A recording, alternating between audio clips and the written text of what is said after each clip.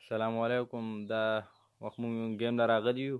او دا ښوونګي بیډمنټن هال دی تاسو وګورئ دا تاله دی بند دی دلته د هال نوکر دی دا هال هغې بند کړی دی او د یو یو پلیر نه چې چې هزار روپۍ مطالبه کوي چې مونږ له چې چې هزار روپۍ راکړي هله به مونږ تاسو ته هال کولاوو مونږ ډي ایس او صاحب خواله هم تللي په دې باندې موږ ابجیکشن کړی وو خو ډي ایس او صاحب موږ نه څه ریسپانس رانه کړو او بل زموږ د دې بیډمنټن هال ښوونځي کوم صدر دی عظمت حیات هغه ته موږ کال وکړو هغه هم څه ریسپانس موږ له نه راکوي هغه وایي خپل کار دی وایي بس تاسو ورسره کوئ نو موږ ډي جي صاحب مطالبه کوو د دې حال د بندېدو باره کې چې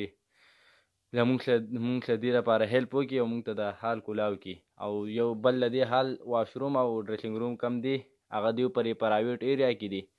نو هغه هم دیو خپل استعمال کې راوستي دي نو موږ ته دې نه ډیر سخت تکلیف دی نو تاسو به ډیره مننه کوو دا